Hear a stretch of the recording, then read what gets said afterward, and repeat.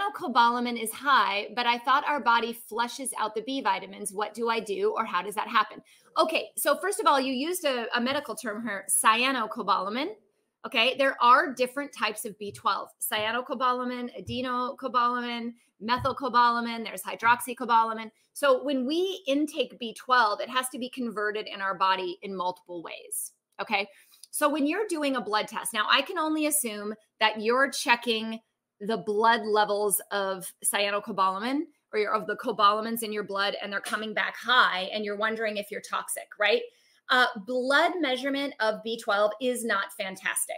It is great for finding deficiency, but it is not great for finding optimal levels because if you're taking it, of course, it's going to be floating around in the blood until it's removed. I would argue that perhaps you had been taking it regularly. If you're taking it regularly, of course, it's going to be high in the blood. Are you toxic? Not necessarily. Another thing to consider um, I have, and by the way, but I have seen toxicity of cobalamins, and this mostly comes from injectable. I see people taking high doses of injectable too often. So I've seen it both ways. Um, most of the time, when I see that, it's because the person has an MTHFR deficiency, um, which is a genetic deficiency. MTHFR sounds a lot like a swear word. That's how I remember it. um, and I do have information. I have an article on that on my website, MTHFR. And in that cases, you have to make sure, and this goes for everyone, guys. B12 doesn't work alone. It works with B6 and methylated folate. And the type that you take needs to be methylated. So if you're taking cyanocobalamin, odds are you're probably not absorbing it well, which is why it's so high in the blood. When you're taking um, a absorbable form and your body is using it well, your levels may come back on the high end, um, but they're not going to be deficient, right?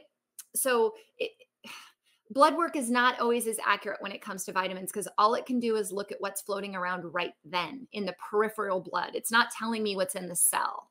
Does that make sense? We're not going inside the cell to pull out the level of B12, which is where it's utilized. We're going into the blood so, yes, some doctors would say, well, if it's in the blood, that means the cell is full. Nah, I don't know. Because if you don't have proper pathways for that and your body can't transport the B12 into the cell because it doesn't have the methylation capacity, you're going to have high levels in the blood, low levels in the cell, and symptoms of B vitamin deficiency. So there's a lot more to it than just that. So my advice would be I think everyone, honestly, if you're under stress, if you live a life in this world, you're under stress in some way. B vitamins get burned through, it's really important to be taking a methylated B vitamin. I prefer all of them. Um, I use my total B complex every single day. If you have the MTHFR, you may have to go higher in the B6 component and the methylfolate component. I very rarely find that you have to go higher in the B12 component. And this is converse to what most people say, right?